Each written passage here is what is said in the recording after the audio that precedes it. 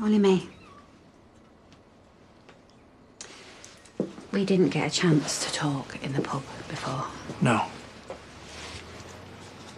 Aaron thinks there's something that we do need to talk about. Really?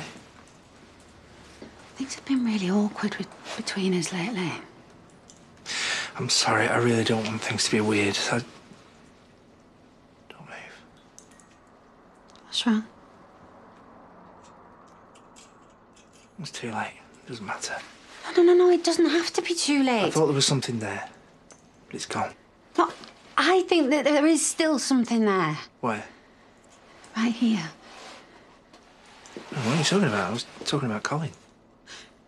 Right, right, this is, this is really strange. No, you know the gerbil that escaped. Was that was? He, what we? I would, uh, it doesn't matter. Forget it. Your thing was far more interesting. Oh, no, Pat, look, it, it's there. I'm so sorry.